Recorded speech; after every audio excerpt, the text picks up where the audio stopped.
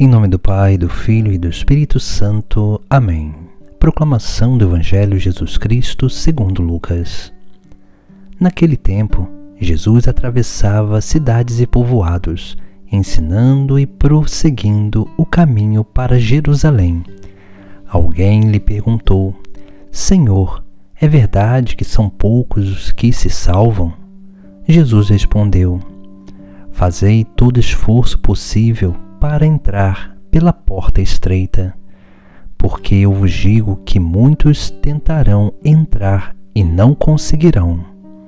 Uma vez que o dono da casa se levantar e fechar a porta, vós do lado de fora começareis a bater, dizendo: Senhor, abre-nos a porta. Ele responderá: Não sei de onde sois. Então começareis a dizer: nós comemos e bebemos diante de ti, e tu ensinastes em nossas praças. Ele, porém, responderá: Não sei de onde sois. Afastai-vos de mim, todos vós que praticais a injustiça. Ali haverá choro e ranger de dentes. Quando vierdes Abraão, Isaque e Jacó, junto com todos os profetas, no reino de Deus, e vós, porém, sendo lançados fora. Virão homens do Oriente e do Ocidente, do Norte e do Sul, e tomarão lugar à mesa no reino de Deus. E assim há últimos que serão primeiros, e primeiros que serão últimos. Palavra da salvação. Hoje no Sagrado Evangelho vão perguntar a Jesus e fazer um, vão fazer uma pergunta fundamental, que é, na verdade, a pergunta de todos nós. É aquela pergunta do jovem rico: o que deve fazer para alcançar, para ganhar a vida eterna? Essa pergunta aqui no evangelho de hoje, ela vem de forma diferente. E vão perguntar: Senhor, é verdade que são poucos os que se salvam? Jesus ele vai responder sabiamente, vai nos chamar a atenção através de uma exortação. E ele vai dizer: "Fazei todo todo esforço possível para entrar pela porta estreita, porque eu vos digo que muitos tentarão entrar e não conseguirão."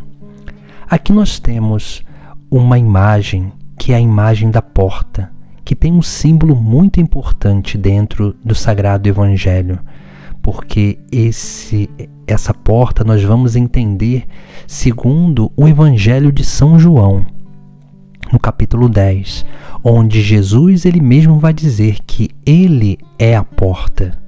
A porta estreita é o evangelho, é a vida do próprio Cristo. Quando Jesus Cristo diz: "Fazei todo o esforço possível", para entrar pela porta estreita, ele está nos chamando a atenção que nós precisamos nos esforçar para colocar em prática a vida do próprio Cristo na nossa vida. Ou seja, colocar o Evangelho na nossa vida, para que essa palavra se faça carne na nossa carne.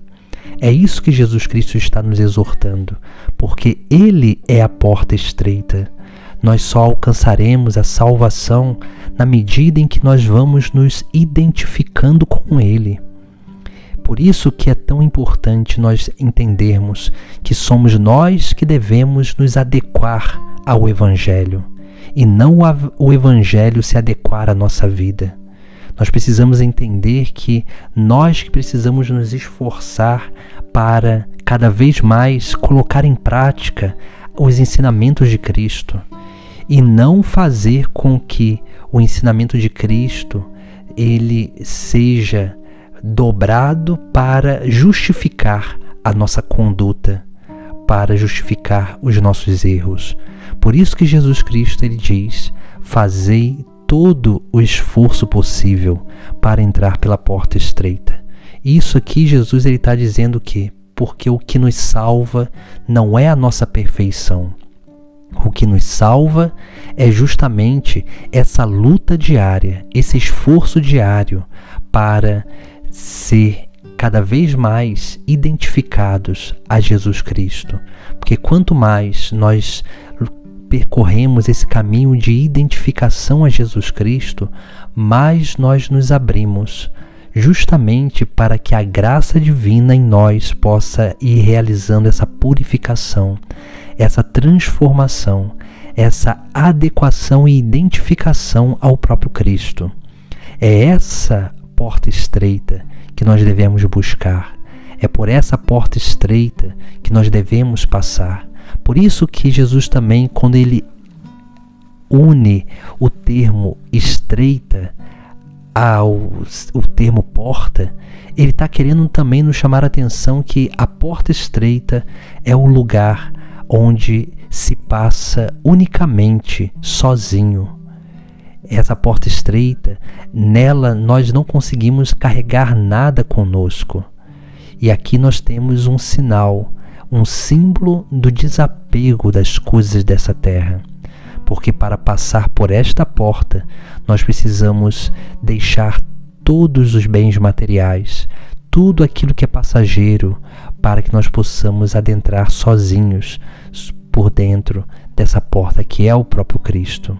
Por isso que Jesus Cristo ele vai nos fazer essa exortação e depois ele mesmo vai dizer uma pequena parábola, dizendo: Uma vez que o dono da casa se levantar e fechar a porta, vós do lado de fora começareis a bater, dizendo: Senhor, abre-nos a porta. Ele responderá: Não sei de onde sois. Então começareis a dizer: Nós comemos e bebemos diante de ti, e tu ensinastes em nossas praças. Ele, porém, responderá: Não sei de onde sois.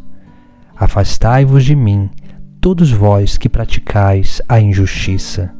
Veja que aqui Jesus ele contando essa pequena parábola, ele nos chama a atenção que não basta estar no lugar aonde Jesus está, não basta estar dentro da igreja, não basta estar se alimentando daquilo que ele nos oferece, como a palavra e a Eucaristia.